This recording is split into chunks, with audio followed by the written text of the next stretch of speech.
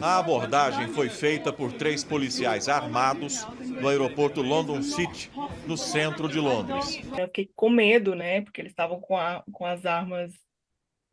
Eu nunca, nunca passei por essa situação é, de polícia estar tá com aquele tipo de arma próxima de mim. Acompanhada do marido, que é inglês, e dos dois filhos pequenos, a brasileira tenta entender o que está acontecendo. I haven't done anything wrong. You are under arrest already, okay? Listen, you're wrong for doing Oh man, this is mad. A empresária goiana, de 36 anos, mora há 15 anos na Inglaterra.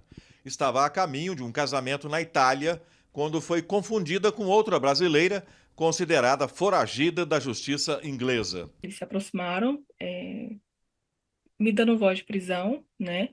E explicaram que eles eles estavam convencidos que eu era aquela pessoa que foi presa em 2022. Essa pessoa que foi presa é, estava dirigindo embriagada.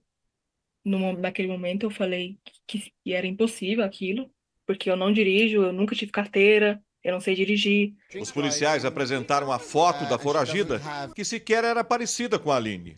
So she's being charged for drink driving, uh, and she doesn't have a driver's license.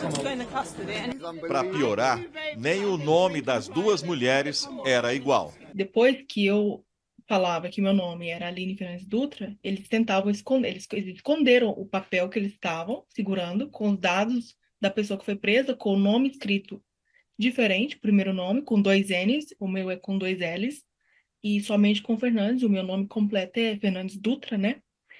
E eles não, não quiseram mostrar né, essas informações pra gente. Depois de alguns minutos de discussão no aeroporto, a brasileira foi levada para uma delegacia de Londres.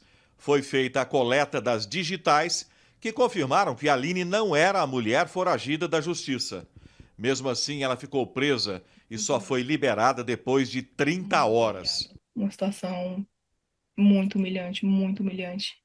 É, é, você se sente impotente de todas as formas. Eu me senti violentada, assim. É, eles foram, eles foram muito cruéis. Eu acho que essa é a palavra certa. Eles, eles é, não, não, não tinha necessidade de me algemar, de usar força.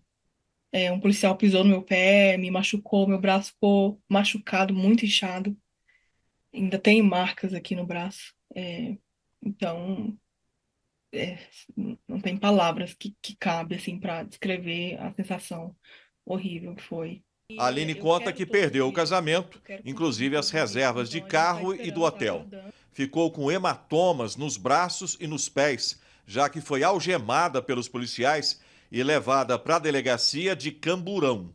Também precisa andar com um documento na bolsa para provar que não é procurada pela justiça. Ela agora pretende processar a polícia inglesa. É mais um caso de injustiça contra um brasileiro aqui. É, então, eu quero, eu pretendo ir bem longe com essa história, até que a justiça, até que eu sinta que a justiça foi realmente feita, né?